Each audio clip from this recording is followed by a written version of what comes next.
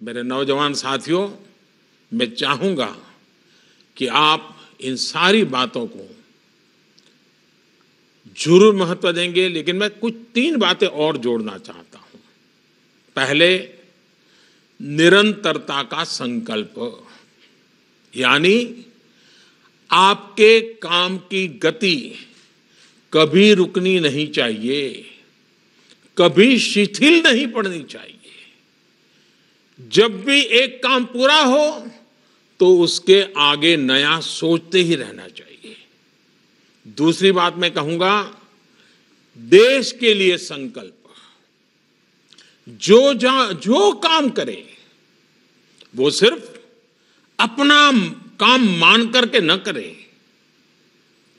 मेरा काम, मेरे लिए काम, ये सोच हमारे दायरे को बहुत सीमित कर देती है। जब आप देश के लिए काम करेंगे तो अपने आप, आपका काम कहीं ज़्यादा बढ़ जाएगा, बहुत बड़ा हो जाएगा। बहुत लोग ऐसा लगेगा कि जैसे आपके काम के लिए कुछ न कुछ कर रहे हैं, आपका सोचने का विस्तार ही बदल जाएगा।